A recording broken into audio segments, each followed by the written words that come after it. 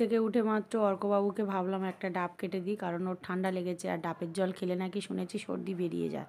সর্দি অলরেডি অল্প করে বার, বের হচ্ছে অল্প অল্প। আর এই যে দেখো, পিঁড়েটা নিয়ে ডাবের উপর ফেলে দিল, রাগ হয়েছে বাবুর আমার উপরে। সারাক্ষণ ধরে থাকতে পারি, আর ওই যে ওর জেম্মা পাইপ দিয়েছে, পাইপ দিয়েই খাচ্ছিল। আর অরণ্য একটা ডাব খেয়ে টিউশানি চলে গিয়েছে। বন্ধুরা, কেমন আছো তোমরা? আশা করছি সবাই খুব ভালো আছো, আর আমিও ভালো আছি। ভালো আছি বলতে আজকে মনটাও ভালো, শরীরটাও একটু ভালো। কারণ মনটা কেন ভালো? আমার সোনা বাবা একটু অসুস্থ ছিল, সেই জন্য মনটা খুব খারাপ ছিল। আর শরীর ভালো না থাকলে মন ভালো থাকে না তো সেটা তোমরা সবাই জানো। তো যাই হোক, দেখতেই পেলে সোনা বাবা ঘুম থেকে উঠে বিকেলে ডাব নিয়ে পুরোটা খেতে পারেনি, একটুখানি খেয়েছে, পুরো জলটাই ছিল। তো ওর বাবা একটু নিচের দিকে নিয়ে গেল, শরীরটা একটু ভালো বলে আজকে নিচের দিকে গেল। আর এই যে আজকে বাইরে বেরোবো কি আজকে হাটবার এত ভিড়, লোকজনের এত সমাগম, তোমাদেরকে কী বলব? দেখো, চলো। এত আওয়াজ হচ্ছে, গাড়ির আওয়াজ তোমরা শুনতে পাচ্ছ কি জানি এখন কিন্তু এই যে দেখো, রোদটা কিন্তু আমার গায়ে পড়ছে। রোদ এখনও যায়নি। সাড়ে তিনটে বাজে। তো গাড়ির এত আওয়াজ হচ্ছে, আমার কিন্তু এই নিচে যে সাউন্ডটা, ভিডিওটা করছি আমি, সাউন্ডটা মিউট করতে দিতে হলো। কারণ তোমরা আমি কোনো কথা বললে কিন্তু শুনতেই পারতে না, গাড়ির এত আওয়াজ হচ্ছিল। আর এই যে দেখো, হাটে মোটামুটি কটা বাজে তো বলেই দিলাম। লোকজন প্রচুর হয়ে গিয়েছে এখন থেকে কারণ দুটো থেকে লোক আসা শুরু করে। আর তাছাড়াও শনি, মঙ্গলবার করে হাটবার দিন করে একটু বেশি মানুষজন ঘোরাঘুরি করে। বাজার হাট সব কিছু করে আর কি। আওয়াজ তোমরা শুনতে পাচ্ছ কি না জানি না, কারণ লোকজনের এত সমাগম, আওয়াজ ঠিক শোনা যাচ্ছে না। তো শোনাও একটু সকাল সকাল ঘুম থেকে উঠে পড়েছে। ভেবেছিলাম যে ব্লগ করব না, কারণ একদিন একদিন ব্লগ দিতে পারিনি। তোমরা নিশ্চয়ই বুঝতে পেরেছ, যারা ডেলি আমার ব্লগ দেখো তো একদিন কিন্তু অফ ছিল। ব্লগ করতে পারিনি, সোনা বাবার শরীর খারাপ বলে সেই জন্য। তো আজকে ভাবলাম ব্লগ না করলে তোমাদের সঙ্গে না কথা বললে ঠিক মনটাও ভালো লাগে না। তো বিকেল থেকে ব্লগটা স্টার্ট করছি। বারবার পিছনের দিকে ফিরছি কেন না কারণ ওই দিকটা গেটটা খোলা আছে না। চলো গেটটা একটু দিয়ে দিই, সেই জন্য আজকে তো হাটবার। তাছাড়া অনেক মানুষজন উপরে ওঠে। মানে ভাবে যে উপরে কি আছে না আছে, কেউ কেউ আবার বাথরুমের জন্য ওঠে, নিচে দোকান তো, সেই জন্য। আর আমাদের এটা কোনো কৌতূহলিক বিষয় নয়, আর এটা নিয়ে তোমরা কেউ মাইন্ডে নিও না, কারণ আমাদের গ্রামের দিকে কিন্তু এরকম হয়ে থাকে। তো যাই হোক, চলো। সোনা বাবাকে দিয়ে এসছি, এবার ঘরের কাজকর্মগুলো একটু সেরে নিই বন্ধুরা ঘরের সমস্ত কাজকর্ম সারা হয়ে গেছে, সেরে নিয়ে এই যে চলে এসেছি, ওই যে কতগুলো জামা কাপড় তুলেছি, ভাবলাম জামা কাপড়গুলো একটু গুছাবো, আর তোমাদের সঙ্গে একটু গল্প করব। তো যাই হোক, এরপরে একটু পাঁচটার দিকে গিয়ে রান্না করব। সেই জন্য রান্নাটা এখন বসায়নি, ভাবলাম একটু জামা কাপড় সব কিছু গুছিয়ে নিই। আজকে তো অফিসে যাইনি, সেই জন্য অফিসের ব্লগ কিন্তু, ব্লগ বলতে কি, অফিসের কোনো রকম খাওয়া দাওয়া, আমাদের কথাবার্তা তোমরা কিন্তু কিছুই পাওনি। তো আজকে ছুটি নিয়েছি আমি, সোনা বাবার শরীর খারাপ সেই জন্য। আর আজকে শনিবার দেখতেই পেলে হাটে কতটা ভিড় হচ্ছে হাটবার। তো ভাবলাম বাইরে গিয়ে তোমাদের সঙ্গে কথা বলব, কারণ ওই যে গাড়ির আওয়াজ, গাড়ি ঘোড়ার আওয়াজ তোমরা কিন্তু কেউ কিছু শুনতেই পাবে না। তো ঘরে গুছাই আর তোমাদের সঙ্গে একটু গল্প করি।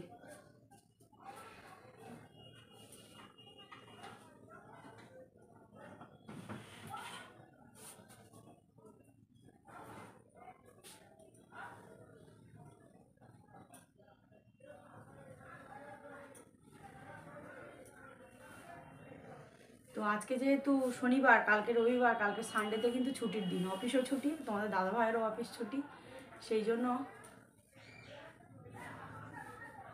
সেই জন্য আজকে কিছু কাজ সেরে রাখলে কালকে কিন্তু ছুটির দিনে একটু মানে নিজেদের, নিজের যে পরিচর্যাগুলো সেগুলো করা যায়। তো অনেক দিন ধরে ভাবলাম যে চুলটা, আমার চুলটাই দেখতেই পেলে। পেলে বলতে কি দেখতেই পাচ্ছ, লাল লাল মতো হয়ে গেছে। চুলের কোনো রকম পড়ে যাওয়ার পর থেকে চুলের কোনো রকম কিছু নেই। ভাবলাম কালকে একটু চুলে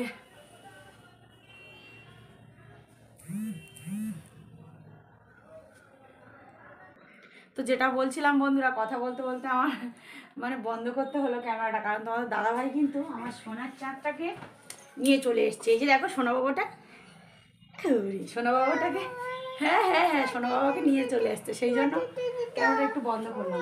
তো কালকে একটু চুলে কালো মেহেন্দি দেবো, সেই জন্য ভাবলাম যে ঘরের কাজকর্মগুলো আর যে বাদ বাকি কাজকর্মগুলো মা মা মা।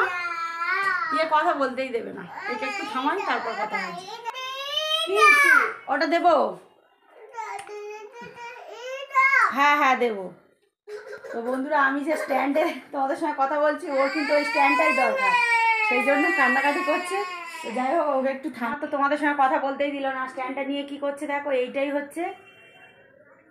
এই যে দেখো, এইটাই নিয়ে সারাক্ষণ খেলাধুলা করবে। আর আমার বিছানার অবস্থা দেখো, এই যে দুপুরবেলা ওর বাবারও আজকে ছুটি ছিল। অফিস ছুটি ছিল। আজকে যেহেতু ফোর স্যাটারডে সেই জন্য ওর বাবার অফিস ছুটি ছিল। আজকে বাবা, ছেলে মিলে দেখো আমার বিছানাটা কি অবস্থা। মানে কুস্তি যার বলে সেরকম একটা অবস্থা হয়েছে। কি? আর বলছি বলে রাগ করছে, দেখেছ? আচ্ছা বলব না বলব না। তো চলো জামা কাপড়গুলো গুছিয়ে নিই, নিয়ে রান্না বসাবো। কি রান্না করি সব কিছু তোমাদের সঙ্গে শেয়ার করব বিকেলে। তো আমার ঘাম আসছে কিন্তু। তোমাদের ওখানে কাদের কাদের ওখানে মানে কোথায় কোথায় গরম পড়েছে কিন্তু অবশ্যই বলবে। শুধু সুন্দরবনে একা গরম পড়েনি, সব জায়গায় গরম পড়েছে, টুকটাক শুনেছি। বন্ধুরা, ভাতটা কিন্তু আমি বসিয়ে দিয়েছি, তো তরকারি কি করব? এখন ফ্রিজে যাব, কি এখন কিন্তু ফ্রিজ থেকে কি সবজি আছে বের করব, তারপরে আজকে কিন্তু রান্না করব। তো যাই হোক, কলা দেখতে পেলাম অনেক দিন কিন্তু কলাটা রান্না করা হয়নি, সেই জন্য ভাবলাম যে পুকুরের মাছ আছে, কলা দিয়ে, আলু দিয়ে একটু ঝোল করব। জিরের বাটা দিয়ে। দেখো, এই যে কলাটা নিয়ে নিয়েছি। এবার কেটে নেব কলাগুলো।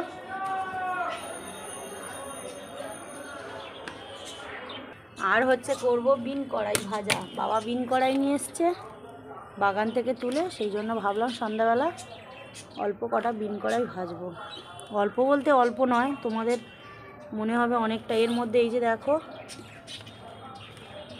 খারাপ ভালো সব মিলিয়ে। তো বেছে বেছে নেব। কড়াই, কলা আর এই যে আলু আর একটা টমেটো নিয়েছি। এবার পেঁয়াজটা নেব আর একটু জিরে বাটা দেব। জিরেটা একটু বেটে নেব। তো তার আগে দেখি আমার সোনা বাবাটা ঘরে কিন্তু খুব আওয়াজ করছে। কি করছে আমি দেখি। দুমদাম করে আওয়াজ করছে। কি করছ তুমি? ও বাবা, কি হলো? কি করছ? লুকিয়ে পড়ছো কেন? দুষ্টুমিগুলো আমি কিন্তু শুনতে পেয়েছি বাইরে থেকে, শুনতে পেয়ে কিন্তু এলাম। অর্ক মানে শরীরটা একটু সুস্থ হয়ে গেছে? ওর হাত আর পায়কে দুষ্টুমি শুরু হয়ে গেছে তার মধ্যে। শরীরটা একটু সুস্থ হয়ে গেছে বলে দুষ্টুমি শুরু হয়ে গেছে? ও বাবা ও বাবা ও বাবা। এই যে বন্ধুরা, দেখতে পাচ্ছ, দুধ নিয়ে চলে এসেছি। তো এই দুধটুকু খাওয়াতে পারলে আমার মনে হয় মানে বিকেলের মতো ডিউটিটা একটু হলেও শেষ হয়ে যাবে। ডিউটি তো শেষ হয় না, কিন্তু এই যে এই দুধটুকু, এই যে দেখাই তোমাদেরকে, এই দুধটুকু খাওয়াতে যে কি কষ্ট, আধা ঘণ্টা লেগে যাবে। তো ভাত ওদিকে ফুটছে আমার। ভাত ফুটে উঠেছে। ভাবলাম ও ভাতটা ফুটছে ফুটুক। উনুনটা নয় বন্ধ করে দেবো, কারণ এখনও কিন্তু কোনো রকম কোনো কিছু সবজি টবজি কাটা হয়নি। ওকে একটু খাওয়াবো, যেহেতু ওর শরীর অসুস্থ খাচ্ছে না সেরকম। সেই জন্য ভাবলাম ওকে একটু খাওয়াবো, খাইয়ে তারপর অন্য যা বাদ বাকি যা কাজকর্ম সারবো। আজকে কিন্তু সারাদিন নিচে নামিনি। সোনা বাবা একটুখানি নিচে নেমেছিল নেমে ওর বাবার সঙ্গে। আমার ভালো লাগে না মানে সারাদিন করে অফিসে থাকি তো, যতক্ষণ তোমার মানে টুকু ঘরে আসি, মনে হয় যেন ঘরটুকুই সর্ব আমার। ঘরে থাকতে, ঘর গোছাতে, আর সংসারী মানে আমরা সারাদিন কত কাজকর্ম থাকে বলো? আর যেহেতু আমার দশটার সময় অফিসে বেরিয়ে যেতে হয়, তাড়াহুড়ো করে ভোরবেলা উঠে কাজ ছেড়ে বেরিয়ে যেতে হয়। ঠিক মনের মতো কাজটা হয় না। আর মনের মতো কাজ সেরে উঠতেও পারি না। কারণ আমাদের জয়েন্ট ফ্যামিলি জানো অনেকগুলো মানুষজন সবার জন্য রান্না বান্না করে রেখে যেতে হয়।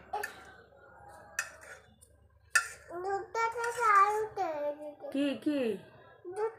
দেখো দাদা ঘড়িটা নিয়ে দুষ্টুমি করছে। তো আমি কিছু জামা কাপড় গুছিয়েছি আর কিছু কিন্তু এখনও পর্যন্ত গুছাতে পারিনি এই যে দেখতেই পাচ্ছ। খাটের উপরে কিছু মানে গামছা আর একটা দুটো আমার নাইটি আর একটা দুটো জিনিস পড়ে আছে কিছুটা গুছিয়েছি। তার মধ্যে আবার রান্না বসিয়ে দিলাম। কারণ রান্নাটা না বসালে ওই দিকটা উনুনে সন্ধ্যাবেলা মানে রাত হয়ে গেলে বড্ড মশা ওপারে। কারণ ওপারে তো অ্যালবেস্টার দেওয়া নেই, ঘেরা নেই, যেখানে আমার উনুনটা তোমরা জানো।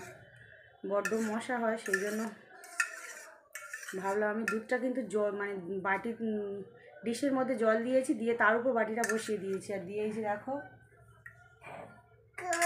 ঠান্ডা করতে দিয়েছি, কারণ দুধটা অনেকটাই গরম। আর আমি আমি কিন্তু খুব ঘেমেই যাচ্ছি, তোমরা বুঝতে পারছ, কথা বলছি। তো যাই হোক, যে প্রসঙ্গে কথা বলছিলাম তোমাদের সঙ্গে, সেই কথাতে আবার ফিরে আসছি। তো সত্যি সত্যি ঘর থেকে কিন্তু আগে তবু একটু আধটু মন্দিরে যেতাম, বেড়াতাম। আর এই কাজটা করার মধ্যে মানে এতটা চাপ বেড়ে গেছে কাজটা নিয়ে, ভাবলাম যে চাপ নিয়ে ভুল করলাম, আবার ভাবলাম সময় কাটছিল না, ঘরের অফিসে কাজ করছিলাম। সময়টাও কেটে যাচ্ছে, অনেক অনেক অজানাকে জানছি, শিখছি, আর অনেক মানে স্টুডেন্ট, ছেলেমেয়ে সবাইয়ের ভালো করতে পারলে নিজের কষ্টটাও কষ্ট বলে মনে হয় না। তো যাই হোক, আমার মতো কিন্তু কার কার নিজের ঘরটাকে স্বর্গ বলে মনে হয় সবাই কিন্তু জানিও। তো চলো সোনা বাবাকে একটু খাইয়ে নিই ওর জিদ্দাদা এসছে জিদ্দাদার সঙ্গে একটু কথা বলছে। খাইয়ে নি খাইয়ে নি। কেন, দুধটা ঠান্ডা করছি, একটু খাইয়ে নি, নিয়ে আর খেলবে ভাই, নিয়ে। দাদা খেলবে বলে বলছিল আমি বললাম যে একটু খাইয়ে নি। খেয়ে এসো খেয়ে খাবে এসো খাবে এসো। খেয়ে নিয়ে তারপর খেলা করবে। তো চলো বন্ধুরা ওকে একটু খাইয়ে নিই নিয়ে তারপর আবার তোমাদের সঙ্গে কথা বলছি। এই যে দেখো বন্ধুরা ভাতটা কিন্তু আমার হয়ে গেছে আর বাইরে মাছের ঝোল বসিয়ে দিয়েছি তোমাদের সঙ্গে শেয়ার করতে পারিনি। সোনা বাবা এত কান্নাকাটি করছিল কোলেও করে নিয়ে রান্নাটা করতে হয়েছে সেই জন্য। আর এই যে দেখো বিন কড়াই কাটছি। মাছের ঝোল হয়ে গেলে তারপর বিন কড়াই ভাজা বসিয়ে দেবো। আর সোনা বাবা এখন দাদার সঙ্গে ঘরে কি করছে তোমাদেরকে দেখাই। এই দেখো, ছুটে ছুটে আসছে। ও মাঝে মাঝে খেলছে, আবার মাঝে মাঝে কান্নাকাটি করছে। নাচানাচি করছে। দেখো বন্ধুরা, আমার কিন্তু মাছের ঝোল হয়ে গিয়েছে। এই যে কাঁচা লঙ্কা দেখা যাচ্ছে, বুঝতেই পারছ। কাঁচা লঙ্কা দিয়ে হালকা পাতলা জিরে বাটা দিয়ে মাছের ঝোল করেছি, কলা, আলু। আর পুকুর থেকে ধরা এটা জ্যান্ত মাছের ঝোল হয়েছে। আর বাইরে কিন্তু বিন কড়াই ভাজা বসিয়ে দিয়েছি, সেটা এখন ভাজা হচ্ছে। তো চলো, সন্ধ্যাও হয়ে এসছে, আর বাইরে কিন্তু লাইটটা একটু কম, সেই জন্য চলো বিন কড়াই ভাজা কত দূর হয়েছে একটু দেখি। এই যে দেখো, বিন কড়াই ভাজাটা বসিয়ে দিয়েছি, এটা একটু আস্তে আস্তে মষ্টে মষ্টে হতে থাক উনুনের জালটাও নিভিয়ে দিয়েছি, এটা নেব পাকায়, আস্তে আস্তে বন্ধুরা রান্না আমার হয়ে গিয়েছে, রান্না হয়ে গিয়েছে বলতে পুরোপুরি কিন্তু রান্না শেষ হয়নি, কারণ বিন কড়াই ভাজাটা তোমরা দেখতেই পেলে। উনুনে ভাজা হচ্ছে, আমি যা জালটা একদম লিভিয়ে দিয়েছি, ওটা আস্তে আস্তে হবে। আর সন্ধ্যা কিন্তু হয়ে গিয়েছে অলরেডি তোমরা তো দেখতেই পেলে, ওপারে যখন রান্না করছিলাম, তো ভাবলাম সন্ধ্যাটা দিয়ে নিই। তো সন্ধ্যা দিয়ে নিই বলতে, আমি রান্না করতে করতে পুরোটা শেষ করে সন্ধ্যাটা দিতাম, কিন্তু দিলে আর একটা আরেক আরও মানে সন্ধ্যা পেরিয়ে যাবে। সেই জন্য ভাবলাম যে আগে সন্ধ্যাটা দিয়ে নিই, আর ওটা আস্তে আস্তে হতে থাক। যেহেতু মাছের ঝোল আর ভাত হয়ে গিয়েছে আর দিদিভাই সন্ধে দিত। দিদিভাই নিচে আজকে হাটবার বুঝতেই পারছ, ওদের ফাস্টফুড দোকান মানে খুব ভিড় হয় হাটবারে। সেই জন্য দিদিভাই আছে নিচে দোকানদারি করছে। আর দাদা গিয়েছে টাওয়ারে আর হচ্ছে মা আছে নিচে, গরুর খড় কাটছে। খড় কাটছে বলছে, মা কিন্তু বিকেলে সেই তিনটের সময় থেকেই, ঘুম থেকে উঠে কিন্তু চলে গিয়েছে খড় কাটতে। সেই থেকে এখনও পর্যন্ত কিন্তু খড় কাটছে। কারণ কালকে আমাদের মানে যে রুয়ে ছিল জমিতে কালকের ঘাস খোয়া আছে সেই জন্য কালকেকার খড়টাও সমেত গরু খাওয়ার জন্য একসঙ্গে কেটে নিচ্ছে। তাই মা এখন নেই গরু একেবারে তুলে তুলে মশারি টাঙিয়ে তারপর আসবে। সেই জন্য ভাবলাম আমি সন্ধ্যাটা দিয়ে নিই। তো চলো সন্ধ্যাটা দিয়ে নিই নিয়ে তারপরে বাবুকে আনতে যাব। তো চলো। এই হচ্ছে আমার ভাগ্নি। অনেক দিন পরে এসছে আমার সঙ্গে দেখা করতে। মামির শরীর অসুস্থ সেই জন্য। অরণ্যবাবুর কিন্তু একদম বাদাম বাদাম খেতে ভালো লাগে না, বাদামগুলো বেছে বেছে দিয়ে দিই পেলে অরণ্য টিউশনিতে চলে এসছে। চলে এসছে বলতে ও অনেকক্ষণ প্রায় ঘন্টাখানেক আগে এসছে। তো ও এসে ওর বাবা ঝুড়ি ভাজা, আজকে যেহেতু হাটবার, হাটে বসে ঝুড়ি ভাজা কিনে এনে দিয়েছে, ও তার বাদামগুলো বেছে বেছে আমাকে দিয়ে দিচ্ছে। বাদাম খেতেও ভালো লাগে না, খাবে না। আর যাকে দেখলে তোমরা একটুখানি, এক ঝলকে একটুখানি দেখালাম, ওটা হচ্ছে আমার ভাগ্নি মানে ওই বাড়ি বড় শ্বশুরের মেয়ের মেয়ে। তো ও মেশে থাকে বাড়ার সাথে মেশে থাকে কলেজে পড়াশোনা করছে। তো আমাকে খুব ভালোবাসে। সেই জন্য ও যতবারই মামার বাড়িতে আসে, ও আমার সঙ্গে দেখা করতে আসে। তো এসে অনেকক্ষণ গল্প টল্প করছিল, এখন প্রায় সাড়ে আটটা মতো বাজে। এতক্ষণ পরে তবে আমাদের গল্প শেষ- হলো। গল্প হলো, খাওয়া দাওয়া হলো সব কিছু হলো। তো যাই হোক